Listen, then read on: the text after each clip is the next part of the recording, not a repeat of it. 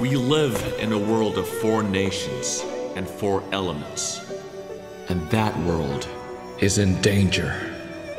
Our only hope lies in the hands of these four young recruits.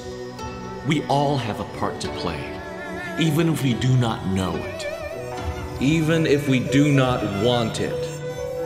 Some will call me crazy, but I believe they are the ones who can save us all. I bet all of you failed your university entrance exams! Twice!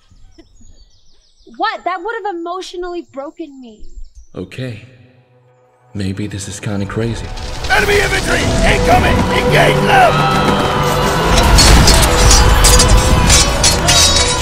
I think you all might have what it takes to help us end the war. So, what is the Colonel talking about when he mentioned your secret skills? Are you secretly a bender? Why are they wandering so far into hostile territory? Say the word and they're all dead. Out of my way! Nation show mercy to my sister when they killed her? This fog doesn't deserve to live! Even as the world shatters around us, there's hope that lingers during these troubled times. We will never give up without a fight.